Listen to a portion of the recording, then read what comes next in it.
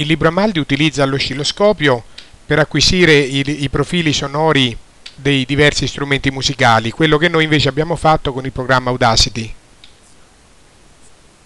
Come Audacity anche l'oscilloscopio è uno strumento che riporta il profilo locale dei suoni.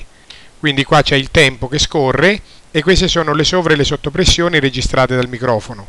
Inizialmente viene generata un'onda sinusoidale alla frequenza di 300 Hz con questo generatore di suoni e questa è l'onda sinusoidale visualizzata sullo schermo dell'oscilloscopio.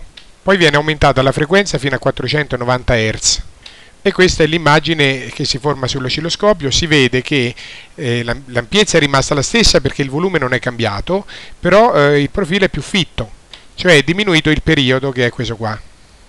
Infatti ogni secondo vengono prodotti più fronti d'onda, d'onda d'aria compressa.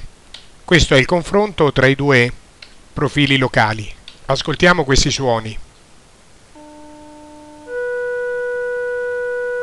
Questi invece sono i profili che si ottengono suonando la stessa nota, nel secondo caso però più forte, cioè ad un volume più alto. Si vede che l'ampiezza eh, di oscillazione è maggiore mentre la frequenza è rimasta la stessa, quindi la nota è eh, data dalla frequenza, l'altezza della nota, quanto è acuta e quanto è grave. Invece il volume sonoro, quella che si chiama l'intensità sonora, è data dall'ampiezza dell'oscillazione. Ascoltiamo.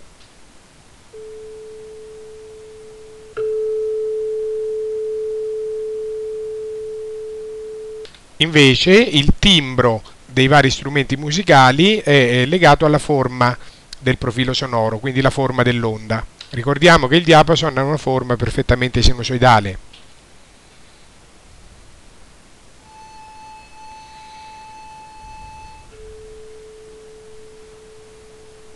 Qua vediamo come è stato registrato il suono di questi strumenti con un microfono collegato all'oscilloscopio. Prima il diapason, la chitarra e il flauto. Prendiamo il diapason e percuotiamolo col martelletto. Percuotiamolo nuovamente in modo più vigoroso.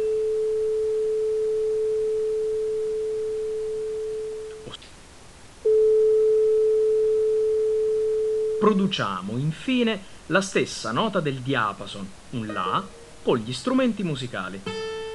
Osserviamo diversi tipi di forme d'onda.